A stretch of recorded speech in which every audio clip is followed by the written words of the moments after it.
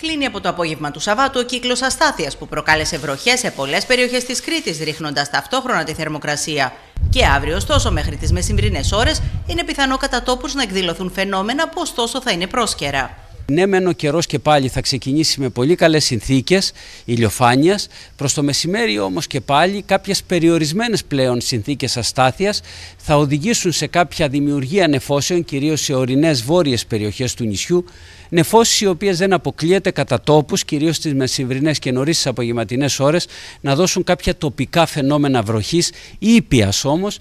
Η ηλιοφάνεια και η άνοδος της θερμοκρασίας σε φυσιολογικά για την εποχή επίπεδα επανέρχονται. Οι προγραμματισμένες για το βράδυ του Σαββάτου υπαίθριες εκδηλώσεις σε ολόκληρο το νησί αναμένεται να διεξαχθούν χωρίς απρόοπτα.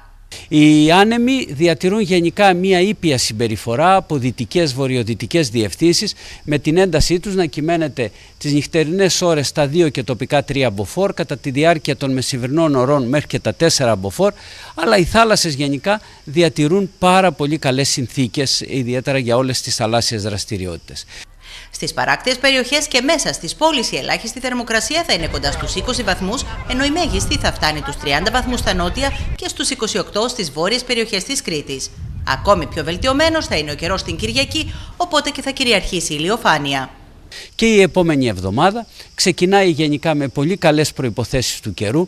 Γενικά η καλοκαιρία θα συνεχιστεί μάλλον καθ' όλη τη διάρκεια της εβδομάδας και έτσι θα μπούμε και στον επόμενο μήνα. Και οι θερμοκρασίες αναμένεται ότι σιγά σιγά θα έχουν μια αυξητική τάση. Έτσι ο Σεπτέμβριος αναμένεται να επιβεβαιώσει τον τίτλο του ως ένας από τους καλύτερους μήνες για διακοπές με καλές θάλασσες, ήπιες θερμοκρασίες και το βόρειο ρεύμα που επικράτησε τον Αύγουστο να είναι εξασθενημένο.